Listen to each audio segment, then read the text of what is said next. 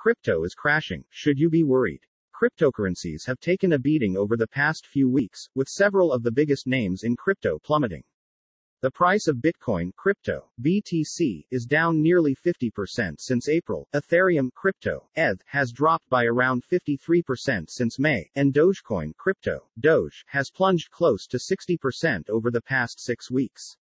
Stock market downturns are always nerve-wracking, but even the most volatile stocks don't often fall as fast or hard as cryptocurrencies. If you've invested or are considering investing in the crypto market, should you be worried about the most recent crash? Here's what you need to know. Why is crypto crashing? Cryptocurrencies have always been a volatile investment, and it doesn't take much to trigger a downturn.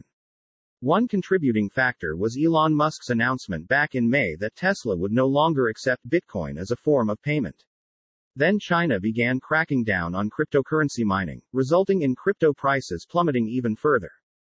The IRS then revealed that it was getting more stringent about collecting taxes on cryptocurrencies, which may have contributed to the crypto crash, as well. Cryptocurrencies are also volatile, simply because they're highly speculative and many investors are still on the fence about them. Nobody knows whether cryptocurrency will still exist in a few decades, and when prices start to fall, nervous investors are more likely to panic sell, causing prices to drop even more. Should you worry right now? Although this most recent crash can be intimidating, the good news is that this is nothing new for cryptocurrencies. Bitcoin has lost more than 80% of its value on multiple occasions, and it's always bounced back. Ethereum even lost nearly 95% of its value back in 2018, yet it was able to recover. While past performance doesn't predict future returns, history has shown that the biggest names in the crypto space, namely Bitcoin and Ethereum, have been able to withstand volatility. Again, this doesn't guarantee they'll always recover, but both of these cryptocurrencies have seen worse and were still able to survive.